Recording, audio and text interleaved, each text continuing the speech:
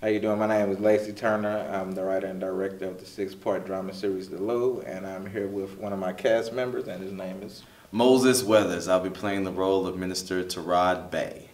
So, uh, give the people a little background information about the character you'll be playing. Well, Minister Tarad Bay, he's obviously a minister who is trying to get his people to do what's right. He's not trying to support the looters. He doesn't want people to go out looting because there's no sense in behind that, you know. So we need to stand firm as one country under all, one nation under all, and um, we need to make sure that we do the right thing. Now, it was an unjust crime that um, Michael Brown had to lose his life, but we need to do what we have to do as individuals, not because of the color of our skin, not because of our racial background, but we need to stand together firm as one community and make sure that we're fighting the judicial system.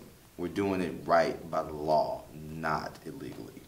Yes, and with Moses, like I've uh, ran into Moses on different projects, and you know, we've always like we started working on a project together that I had to put on the back burner. So uh, when I got this, I was like, he'll be a perfect fit for this role. Uh, so stay tuned for more, you know, updates and interviews with the cast, and see you soon.